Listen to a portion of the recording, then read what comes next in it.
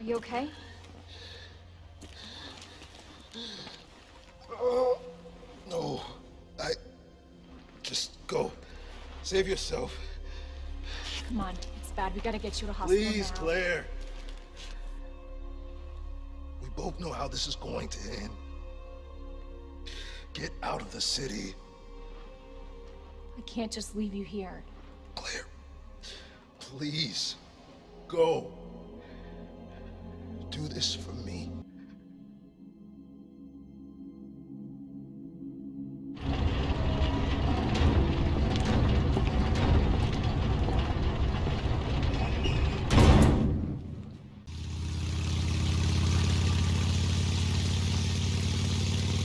Be back as soon as I find Chris. I will, but I gotta go.